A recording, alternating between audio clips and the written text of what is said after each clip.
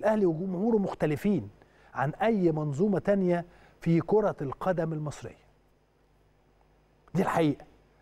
فالجمهور من حقه يختار ويقول ويعمل وأنا عايز اللعيب الفلاني وإذا كان اللعيب الفلاني ده إذا كنت أنت عايز مثلا على افتراض ميسي مثلا. وإدارة الأهلي شافت إن ميسي ده يتوافق وجوده في النادي الأهلي هيسعوا إن هو يجيبوا ميسي. أنا متأكد. لأن أنا بشجع النادي الأهلي وأنا من جمهور النادي الأهلي. ولكن خدوا بال حضراتكم الفترة دي. خدوا بال حضراتكم الفترة دي من اللي بيحصل.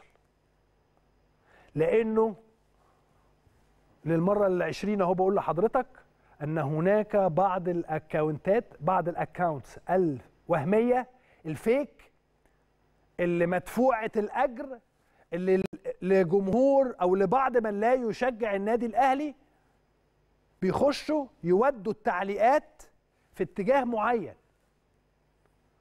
اتجاه آه اتجاه يكون ضد النادي الأهلي على طول. وعمر ما جمهور النادي الأهلي ما بيكون ضد إدارته ولا ضد لاعيبته لكن بينتقد إدارته وبينتقد لاعيبته طبيعي جدا وبيحصل. يعني هل لو حضرتك قلنا إن إحنا إن كل اللي موجودين في النادي الأهلي مش مسؤولين عن اللي حصل للفريق قلنا هذا الكلام هنا داخل قناة النادي الأهلي. قلنا هذا الكلام لأن هذه هي الحقيقة طالما في خسارة الكل بيتحمل الخسارة. في مكسب أول حد بنسقف له هو جمهور النادي الأهلي. وبعد كده الإدارة واللعيبه والجهاز الفني والكلام ده كله. ولكن الجمهور هو أفضل شيء وأحلى شيء وسيظل دائما هذا بهذا الشكل فمش عايز حضراتكم تقلقوا من حاجة في خلال هذه الفترة. النهارده كابتن محمود الخطيب شقيقته توفت يوم الجمعة. طيب هل الكابتن خطيب كان امبارح عنده أجازة مثلا أو أول امبارح؟ لا.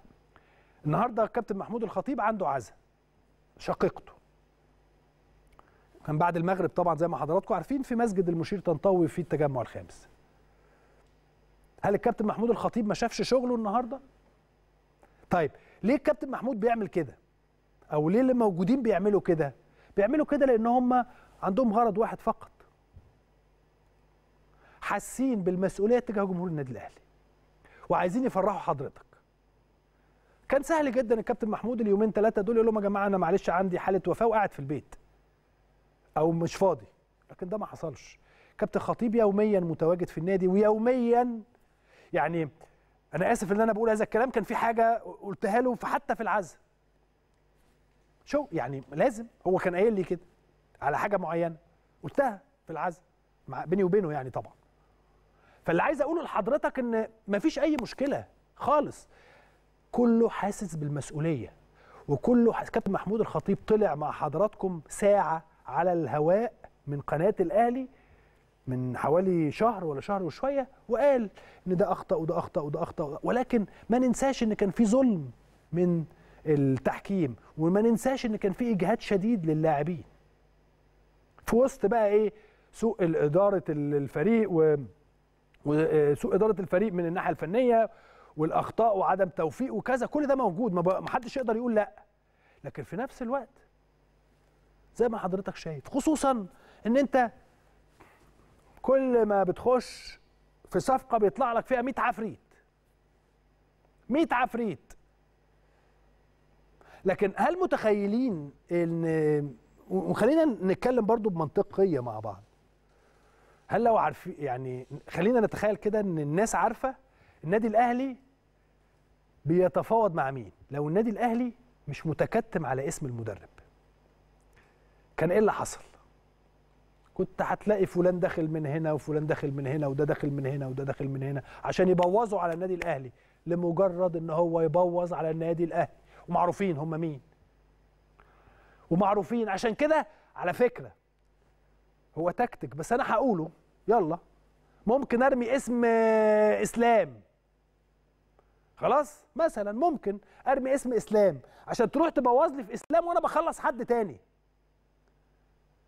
خلاص؟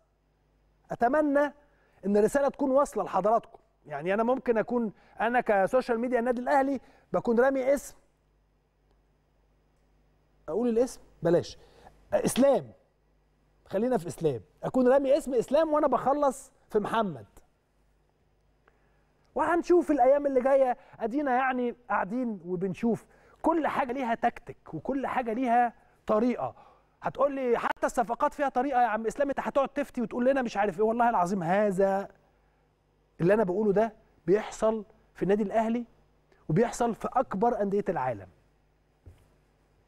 إن بترمي علشان تروح لفلان فكل الناس تجري آه هو النادي الأهلي بيجيب إسلام. طيب هنروح نبوظ على النادي الأهلي إسلام. وتلاقي ده يخش من هنا ويعلي عليك وده يخش من هنا ويعلي عليك وده يخش من هنا ويعلي عليك. وانت في الناحية التانية شغال تعمل اللي انت عايزه لو عايز لو عايز. فمش عايز حضراتكم تتأثروا بشيء خلال هذه الفترة مش عايزين نستعجل. أنا ما أعرفش كأن دلوقتي القطر واقف أهو والقطر جري مش الجرار. عشان الجرار ده الجرار ده عامل أزمة لناس كتيرة جدا. ما أعرفش ليه. كل شوية كل شوية ألاقي إيه؟ فلان الفلاني بيرد على إسلام الشاطر في موضوع ال- ال- الجرار. أنا ما قلتش حاجة غلط. لا أنا ما قلتش حاجة الحمد لله والشكر لله. اللي بيحب النادي الأهلي وبيعشق النادي الأهلي هيعرف واللي ما بيحب واللي عاقل وما بيحبش النادي الأهلي عارف إن الكلام اللي أنا قلته كله كله صح. فتطلع كل شوية ألاقي حد باعت لي لينك يقول لي فلان الفلاني يرد على إسلام الشاطر في موضوع الجرار. وعمالين نازلين تريقه الجرار اللي قالوا إسلام الشاطر وقف مش عارف فين وعمل إيه. للأسف الشديد ولا مش لا مش للأسف الشديد ولا حاجة. أنا عارف كويس جدا أنا بقول إيه. وللأسف الشديد إن اللي بيردوا عليا عارفين إن هم يعني عشان آخد بالي بس من الكلام. عارفين إن هم بلاش. عارفين إن النادي الأهلي هو الجزء الأكبر. مش هقول عليكم.